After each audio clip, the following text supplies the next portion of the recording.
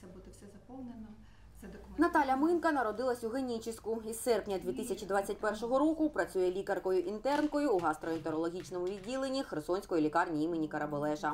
Справжнє бойове хрещення пройти е, ковід, пройти війну, пройти окупацію, е, зміщувати роботу в стаціонарі, де ми зараз знаходимось, ось до нього вхід, і роботу в приймальному відділенні. Під час окупації Наталя лишалась у Херсоні. Розповідає, було важко, адже багато лікарів виїхали, а пацієнтам потрібно було лікування.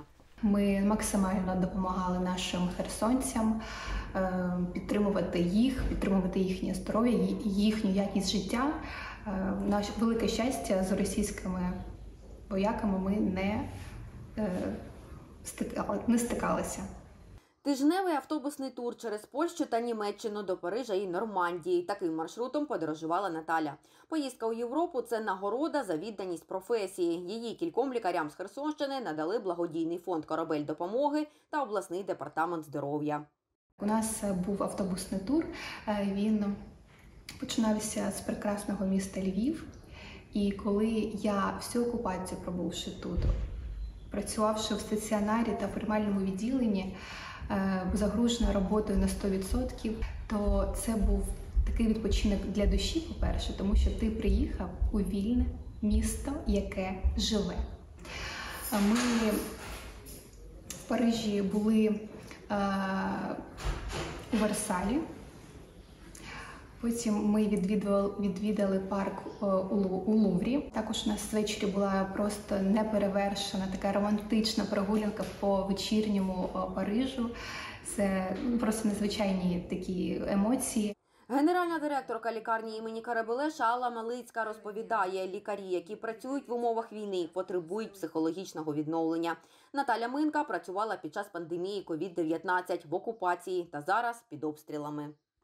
У нас багато фахівців, які заслухо- заслуховують на таку подорож, але е, чому вибір пав на лікаря-інтерна? Адже саме Наталія е, з першого дня інтернатури у нас е, пройшла, знаєте, хрещення і роботою у відділенні з ковід-пацієнтами. А у подальшому з першого дня війни вона не полишала міста Херсона. Хоча як дівчина, як молода дівчина, як лікар-інтерн, який якому пропонували переїхати і до Одеси, там де основна база інтернатури була, і до будь-якого іншого міста України, де було затишніше, е, ну небезпечніше.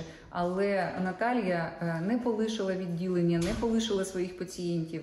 Е, вона ну була дуже корисною для нашого закладу, адже багато допомагала. Це ж повноцінний лікар. Після повернення додому у нашого лікаря горіли очі. е, Вона зуміла пере, знаєте, трошечки переключитися від е, всього того, що відбувається тут.